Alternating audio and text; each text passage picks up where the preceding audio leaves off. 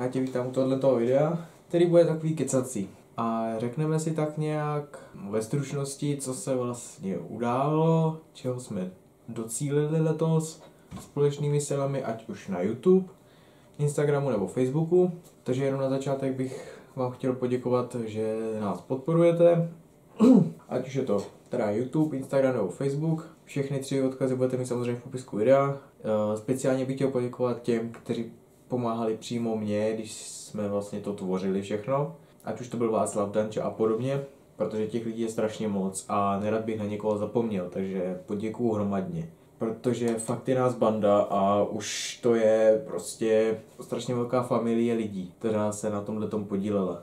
Takže ono to vlastně začalo prakticky všechno nevinně letos. Ono to začalo někdy v červnu zhruba, kdy jsme měli sraz, uh, nebo vlastně to bylo 150 let hasičů tady u nás ve vesnici, kde jsme se sešli s Vaškem, uh, se Zdendou a tak nějak jsme seděli, jedli jsme, kteří teda pili pivo, já ne teda, jo.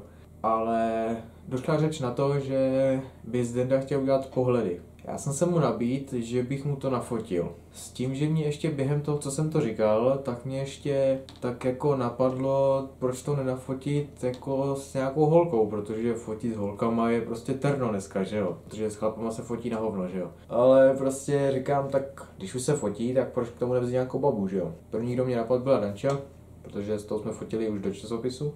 Já ho tady na stole mám, ale mám ho trošku zabordelený, tak mám ho tady tak teďka nějak dám jako vsuvku, tak jsme vlastně fotili do časopisu, což teda se povedlo, to byla akce prostě úplně, to byla top akce, což bylo vlastně 26.9.2021 a to byl takový impuls k tomu, abych začal fotit, tak jsem si vlastně koupil foťák, že jo. Tak nějak přišla teda řeč na to, že bychom to tam nafotili a že jako jo, tak ať to domluvím, tak jsem, naps, tak jsem napsal Danči, jestli by do toho nešlo taky. Tam byla samozřejmě vidět ta radost, že jo, což jako tam mě zahřálo srdíčka. No a tuším, že snad ještě v červenci, ne, v červnu jsme to ještě nafotili, tím, že někdy v červenci, no, tak nějak, pak už začaly vycházet pohlednice. Pohlednice on jsem taky samozřejmě nám do prostřihu. No a když už jsme fotili ty pohlednice, tak mně se strašně líbila ta spolupráce. Já, Danča a ten, koho jsme fotili zrovna. A to bylo něco, co se mi strašně líbilo, prostě jako jo, prostě spolupracovat s někým, jako jo. A všechno tohle jsou pro mě vlastně velké osobnosti, protože kdo podpoří tenhle projekt, tak to je prostě pro u mě jako top člověk. To prostě to nemá období, že jo. No, ale jako fakt to bylo, bylo to top a mě tak začalo šrotovat v hlavě, jako takový jsem zrodil plán, co takové třeba nafotit kalendář. No a, a, a tím to vlastně začalo, že jo. Já jsem teda byl chvíli bez auta, což někteří z vás ví, někteří ne, uh, ale to tady úplně rozebírat nechci, to je věc, tak který se nechci vracet, což jako si chápete. Ale byl jsem bez auta, tak jsem si půjčoval táto, kterýmu taky vlastně děkuju, že to, že to takhle podpořil taky. Prostě každému, kdo, kdo to podpořil. A tak jsme nafotili kalendář, no. Který, tady jsem nechal vyrobit 45 kusů a všechny jsou pryč. Vyšlo to tak akorát, myslím si, že jako původně jsem jich chtěl nechat dělat 30, ale už teď vím, že by to prostě bylo málo. Na příští rok plánujeme taky něco nafotit, už hledám stroje, takže pokud máš doma nějaký stroj, tak můžeš napsat do, popis, do toho, do komentáře. Já budu jediný rád, je to o domluvě jenom. A takže jako prostě to byla akce pro mě jak svině, tohle to jako, musím to říct na plnou hubu, já to tady nebudu skrývat nějak. Nicméně hodně lidí se mě ptá, na co jsem to fotil, jako na jaký zařízení jsem to fotil. Tak jsem to fotil na Sony A Alpha A300 s objektivem 1870, který jsem vlastně zakoupil v zimě minulý rok za 3500 korun na internetu a foťák to zvládl úplně jako bombově. Jediný, co jsem pořídil, tak byla karta, protože karta mě odešla do věčných loviš, tak jsem zakoupil CF kartu a prostě jsem to odfotil všechno na to, takže klobouk dolů Sony, 10 let starý foťák a prostě nafotil nádherný kalendář jako. A Danča, která při focení, samozřejmě i mimo focení byla nádherná, prostě to, to asi nikdo nemůže popřít. Minimálně ne, kteří nás v tom podporují. Samozřejmě, že hejtři se našli, samozřejmě, ale nějakou tu kritiku, jako tu konstruktivní kritiku, tak tu samozřejmě bereme a poučíme se s ní a třeba se vybereme nějaký chyb příští rok. kdo ví, co bude příští rok. Jinak teďka, já jsem vlastně ještě do roku 2022, tak jsem pořídil drona.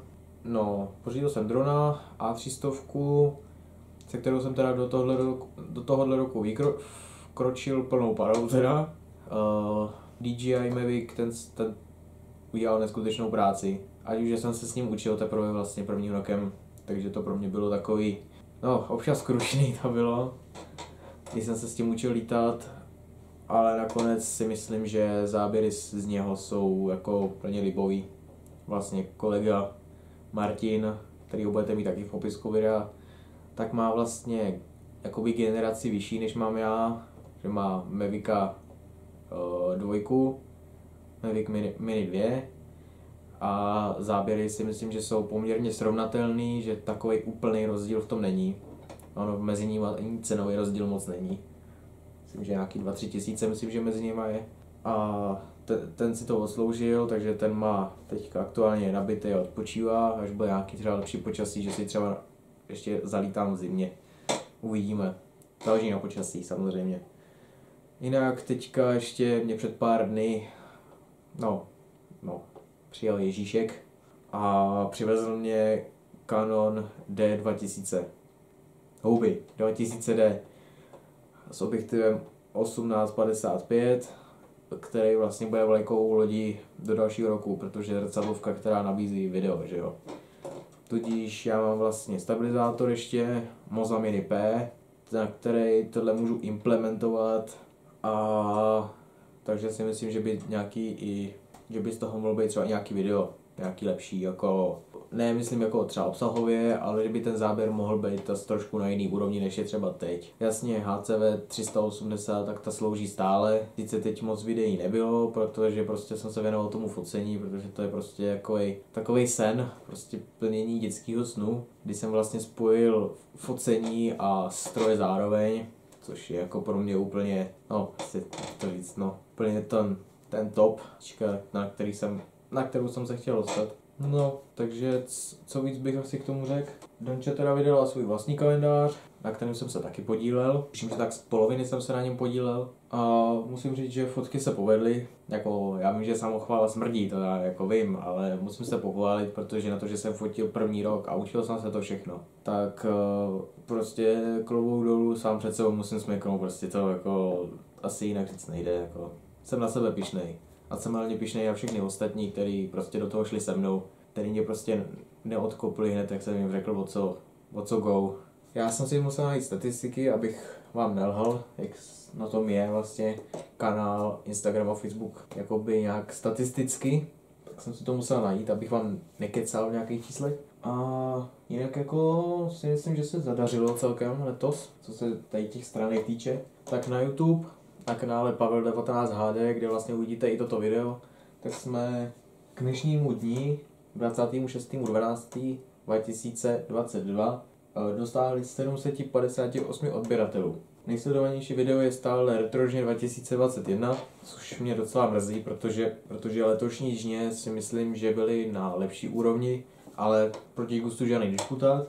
Nemusí se to líbit každému, ale jako 750 nebo 760 odběratelů. Si myslím, že je celkem královské číslo na to, že ty videa moc nevycházely. Že vycházely fakt jako jenom prostě sporadicky, když se prostě něco natočilo, nebo se to sestříhalo prostě fakt jako na random docela, ne pravidelně samozřejmě. Takže jako nějaký, něco vyšlo, ale rozhodně ne, tak jak bych chtěl, aby vycházely videa. Instagram je na tom o trošku líp. Na Instagramu jsme aktuálně na číslu sledujících 3866, dnešnímu datu samozřejmě. Uh, tam se to zvedá hezky, myslím si, že bychom třeba do konce roku ty 4000 třeba mohli dát. Nevím, trošku vás nabudím, třeba jo, třeba ne. Když se to nestane, tak vás nesežeru, ale jinak příspěvky, to jsme překonali teďka 1031 příspěvků na Instagramu, což je taky úplně královské číslo. No a Facebook, o kterém moc lidí neví, že mám vlastně skupinu Zetor 15 až 162 45 rady a fotky strojů. To moc lidí neví tady na YouTube, nicméně tam jsme hodně blíz, blízko k číslu 4000, což je taky bomba. A to je prostě skupina, kde si lidi radí a chlubí se fotkami svých strojů. Já tam teď moc aktivní nejsem, protože prostě jsem se věnoval fakt tomu focení a prostě to nevycházelo moc. Takže asi takhle nějak jsme na tím statisticky. Takže si myslím, že jako bomba. Takže to by asi možná, jo, ještě mám jednu novinku, že aktuálně pravděpodobně budu Václav vystříhat videa, takže pokud se vám nějaký střih nebude líbit, tak se mě můžete ozvat. Tak se mě můžete ozvat nějakým způsobem. Ale samozřejmě, jasně, zaučit se dneska každému je prostě problém a ani se o to nesnažím. Jdu tak, aby se to líbilo hlavně mně, hlavně Václavovi a ať si to potom každý přebere jak chce.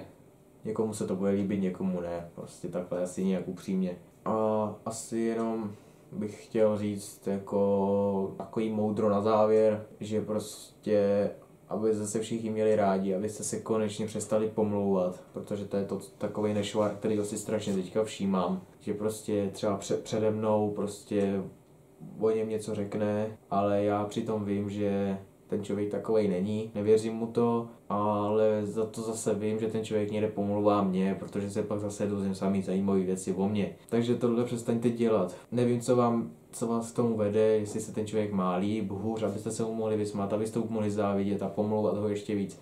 Nevím, sáhněte si do svědomí a zamejte si před vlastním Prahem, než začnete něco takového dělat. Nedělám to, nemám to rád prostě a skutněte hormon už. Je tady konec roku a pokud to uděláte zase 31. až 1. tak zase to budete dělat celý rok a jsme všichni prdeli. Protože tupý ovce se najdou vždycky.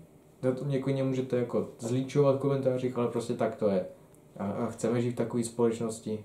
Jako já teda asi ne. Takže fakt bych to asi takhle schrnul a nebojte se s námi jít do roku 2023, kdy to zase rozjedeme na plný pecky a myslím si, že se máte na co těšit. Že to zase s Václavem Zdendou a s tou naší partou celou, že to zase rozjedeme na plný pecky příští rok. Tak já vám přeju šťastný, šťastný nový rok a darec. Ty vole, to zase video, ty vole.